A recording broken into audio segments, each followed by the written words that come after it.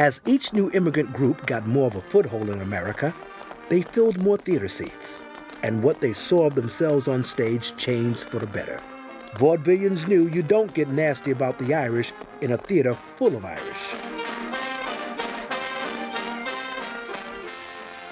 But with African Americans segregated in the balcony, or excluded entirely from the audience, there was no such thing in mainstream vaudeville as a theater full of them. And it was that way for almost a century. Hey, Skinny! The minstrel show's coming to town! Beginning in the 1840s, the minstrel show was America's first entertainment craze. It started with northern white performers who observed blacks or Negroes or slaves at that point um, really entertaining themselves. Say, I have an idea. Yes. You be around here about a half hour before the show. You mean you gonna let me watch up close? Jim Crow, you'll practically be right on the stage. Woo! Wheel about and turn about, Jim Jam. Wheel about and turn about and do just so. Every time I wheel about, I jump Jim Crow. Give me back my clothes, please. What they did was to imitate some of the actions they saw, some of the songs that they saw these slaves singing, and to put on uh, grease paint or blackface. Blacks had little power to protest their characterizations, although many tried. Whites could parody them, but they could parody no one but themselves.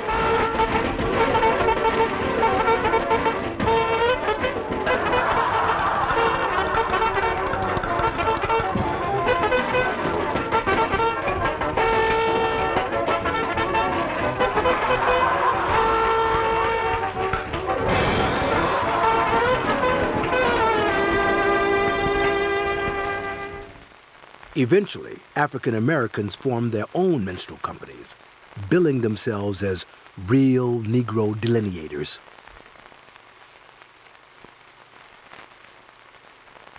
Whites couldn't compete with their authenticity and often their talent. So they turned their own minstrel shows into vaudeville, but blackface characterizations were still an essential part of the act.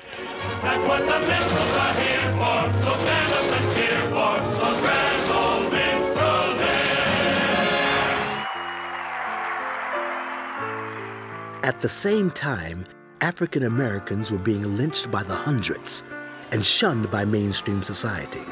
They were the subjects of the most popular music of the time, so-called coon songs, that, like minstrel shows, depicted black life as free, careless, and non-threatening to anyone.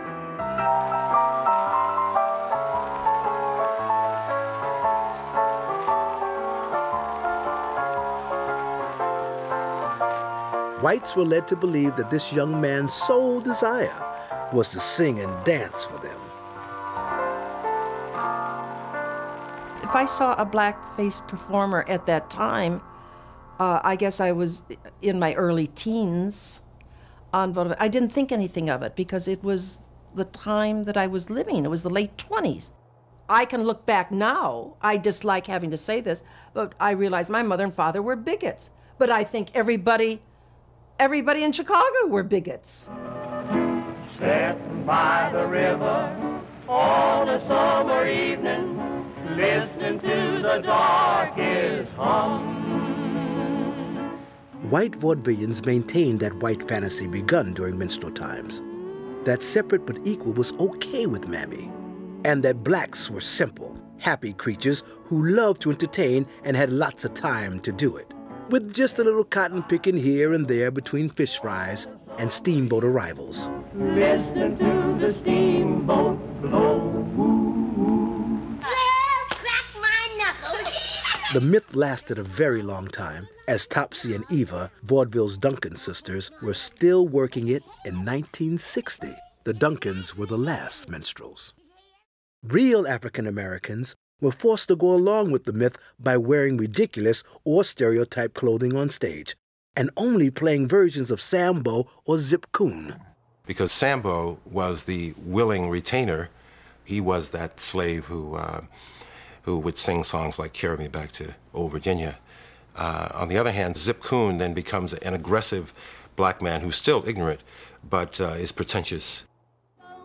Black performers almost always had to be in a racial context. I don't know why I feel this way. Eunice Wilson sings a fine number that has nothing to do with fruits and vegetables. So why does she have to do it in front of giant watermelons?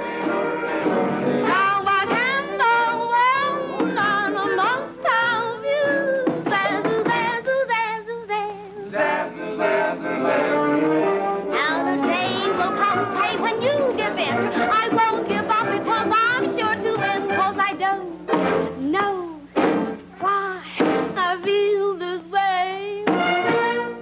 I remember once I uh, had added a wonderful song called Shoe Shine Boy to my repertoire. And it was a perfect song for a kid of 12, 13 to sing. And I sang this song. I had an arrangement of it with an orchestra and I so forth. And uh, I was booked into the, the Oriental Theater in Chicago. And they had a, there was a wonderful theater with a wonderful line of chorus girls and a great choreographer and producer and so forth. And when she heard about the colored boy coming to work at the theater, her mind began to click apparently. And when I got there, she had a whole big production number about Shoe Shine Boy. And of course, I was in it. And uh, I had to give up my nice arrangement and then perform in her production, which included running up and down uh, the chorus girls in front of them with a shoe shine cloth and shining their shoes. And my nice white tail suit had been tossed aside, and I was wearing some kind of stylized version of tatters and rags. That was my final week in vaudeville. Now I remember as a kid, you know, you know, hold on there now. Now Sapphire done told me that you owes me a nickel. And I used to go like, why do he talk like, you know, to my mother, why do he talk like that? The white performers who did minstrelsy um, did not really do black comedy at all. I mean, the jokes had nothing to do with blacks whatsoever. They were basically gags that were taken, and, and they, they were of um, show business origin. They were riddles and gags taken from uh, the northern stage. When blacks came in, you had the emergence of an authentic form of black entertainment, although they still veiled it with the stereotypes that had been set up by the white performers. The, the, the definition for acting is to do. All of this is an act. Leonard Reed is an African American who played in both all white and all black vaudeville. I told you why they put on cork. Not to be black, but to get the expressions from the face. When you put on cork and white lips, you can move your lips around and everybody can see them moving around, and that's a laugh. And I think anything that you can do to get a laugh should be in show business. Show business is show business. And I think that burnt cork for a lot of those vaudevillians was a mask so that when they came off stage, they could disappear into the crowd and nobody would know who, who they were. Almost all the black comedians before 1950 wore blackface, even for black audiences. In the beginning, they had to. Yeah, let me tell you about that bull of my father's. You see, right But some wanted to, like the great comedian Dewey Pigmeat Markham. Five o'clock.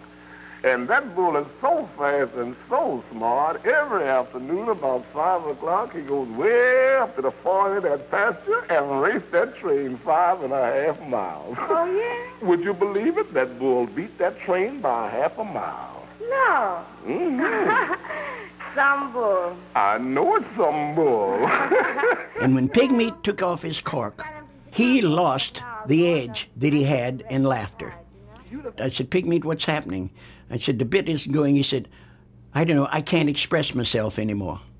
He said, they made me take off the cork, and the cork was not to prove that I was black. They knew I was black.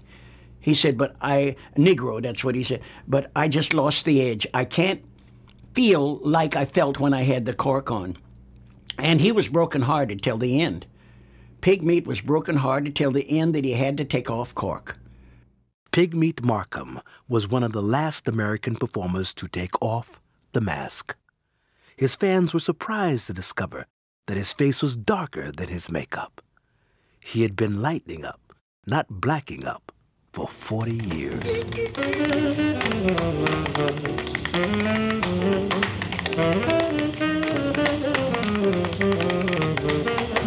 mainstream vaudeville, only one black act was allowed per show, if that. But black performers did have a place to work and learn their craft the Toba Circuit.